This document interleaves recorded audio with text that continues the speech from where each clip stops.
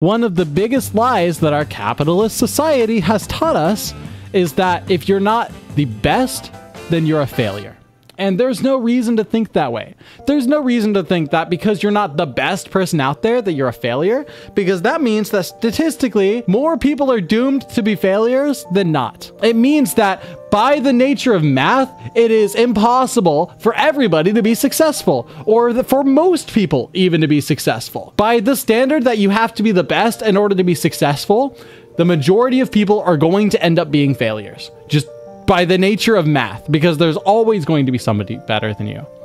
The goal is not to be the best. The goal is to figure out what your dreams are, what your goals are, and to figure out what success looks like for you.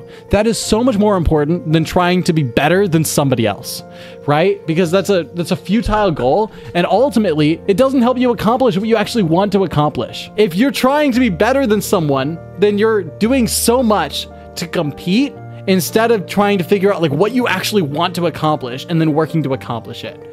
It is ridiculous. Comp- competition is ridiculous and futile. What the hell even makes someone the best? Who gets to judge that and by what standards? Usually how much money they make. That's generally it's determined by how much money someone makes. If you make more money, you're considered better. You're considered more successful, regardless of how ethical the way that you make money actually is. Regardless of whether or not you actually bring something to the world that benefits people, that doesn't matter. It's all about how much money you make. If I invent something, if I invent something that helps a million people, but I give it away for free, I lose a lot of money and therefore it is unsuccessful, right? It is not profitable and therefore I am looked at as a stupid person for giving it away for wasting it, right?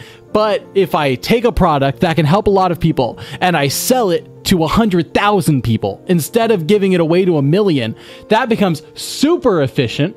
It becomes super profitable, and therefore, a society sees that as more successful. How messed up is that, chat?